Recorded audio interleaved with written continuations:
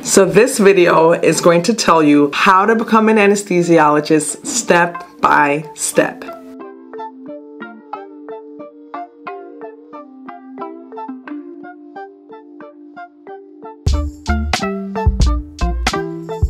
I want to give you guys tips on how to do well in undergrad to set yourself up for medical school admission. And then after that, how do you prepare yourself during medical school to do well during your exams? And then getting from med school into residency, the interview process. So I'm here with this video to help you set your 2020 goals for success in your career path toward medicine.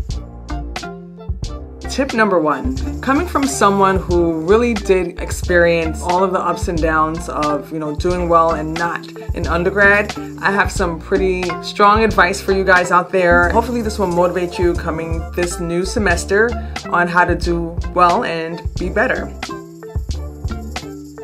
As an undergrad, and especially a pre-med, you really want to focus on your pre-med coursework and doing the best you possibly can in those subject areas. As I mentioned in another video, you do want to use the advantage of a study group, working together with other people to help motivate you in this time, um, and also just to help you do better in your courses. Studying with others, bouncing your ideas off of each other, practicing for exams, doing questions together will really help you. Find opportunities to do research as well as an undergrad and also boost up your non academic repertoire. So, any extracurricular activities, doing um, some volunteer work, or even getting a job outside of your studies will really help you look more well rounded in the application process and will increase your odds of getting in. Lastly, you really want to find your pre med advisor early. So, this person is a gold mine. They'll help you figure out the best schools for you and increase your chances of getting into medical school by providing you advice on how to interview better and what the schools are looking for so that you can build up your application early on. So, as an undergrad, you want to focus on doing the best in your pre med courses, especially all of the courses that are important for doing well on the MCAT, like biology, course, organic chemistry, physics, etc. So, for me, and um, in my studies, really struggling with these courses, I found it very helpful to get into a study group early on, and the people in the study group who were also in the pre med track really helped to motivate me. I went to City College, it was a city university college. I focused on my academics, mixing with extracurriculars. So I worked all throughout college every year. In the summertime, I had a job as well as attended courses. So you want to make yourself appear as a mature individual, an adult learner, someone who can manage more than one thing at a time. So that really comes off as a great characteristic when you're interviewing and applying for medical school. Your pre-med advisor is your best friend. My pre-med advisor um, at City College, Lolita Woodhill, was really helpful. Even after I had graduated and I went into the workforce, I still reached out to her years afterward to figure out my best path and best um, way of going about applying to medical school. So she was truly instrumental, helped me a lot, and um, I'm forever grateful to her for all the advisement that she provided.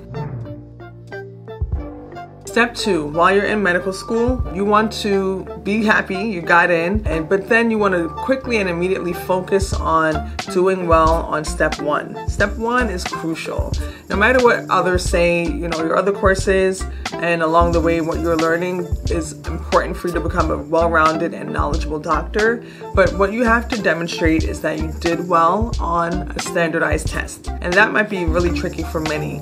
But it is what it is, and step one is that test. So, for me, knowing my history of really struggling with tests and not being the best test taker, I knew going in the door that that was my goal, and I focused on that. I took the bull by the horns. That was my main drive all throughout my first two years in med school. So I quickly uh, found people who were great to study with, and we developed a nice regimen, study plan, and agenda of day to day things to do to get us ready for step one.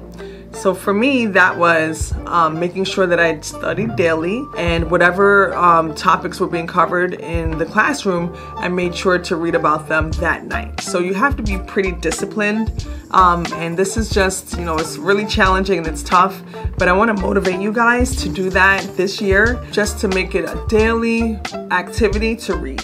So that's going to really promote your learning as a gradual process so that you can be prepared when it comes time to really buckle down. You want to make sure that you create a daily agenda or list of things to do. And when you accomplish them, you'll feel successful. And those small victories and successes will lead to bigger successes when it comes time for you to do well on your exams.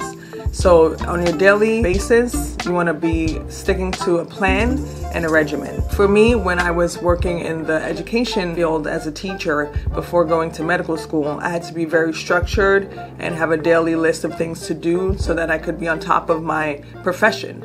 And that's something that really taught me discipline that translated into me doing well in medical school. So learning how to stick to a daily plan and also using that later on when it was time to study helped me to be as good as I could be a student.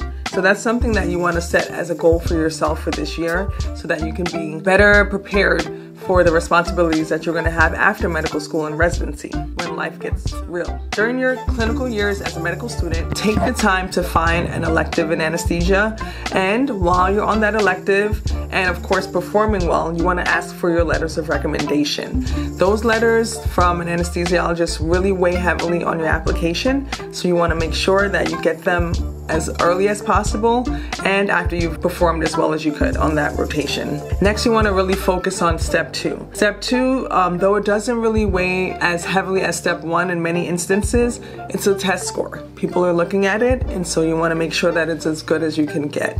So that's your second focus while you're doing your electives um, is to do very well on that exam. Lastly, a lot of people ask me about research. I personally didn't do any research after undergrad. I did some research before applying to medical school, and I think that actually really helped my application. But if you're looking to figure out whether or not research will help you get into residency or not, it's something that could boost your application for sure, but it won't break your application. So don't stress out if you're not able to find yourself in a research project as a medical student.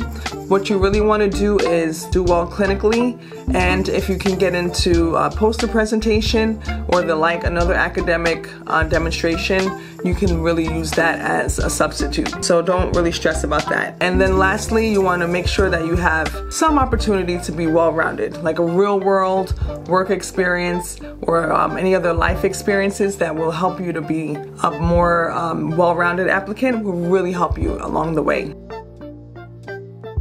Step three residency interviews.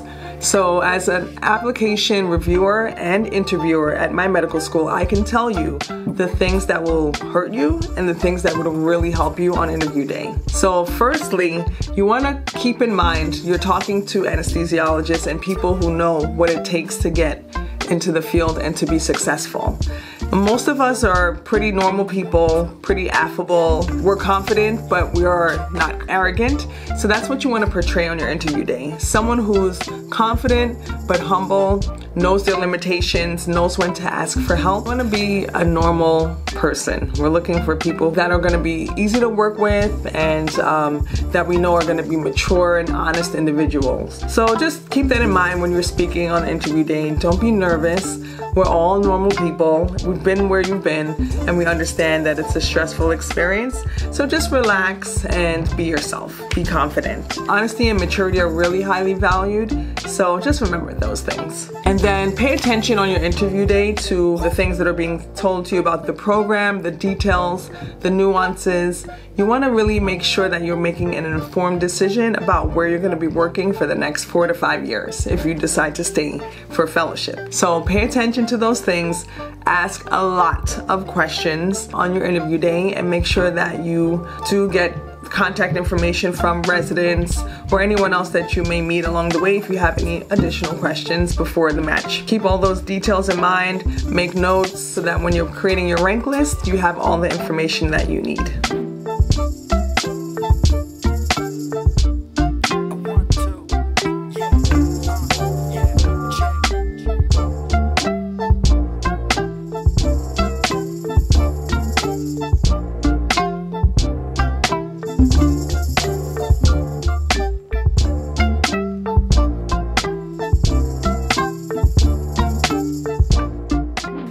That um, we'll do it for the tips. I really hope you guys have a great 2020 and that your focus and study goals are coming together. You're making your plans and you're getting ready for a successful year and career in anesthesia. So next time, see you guys in the next video.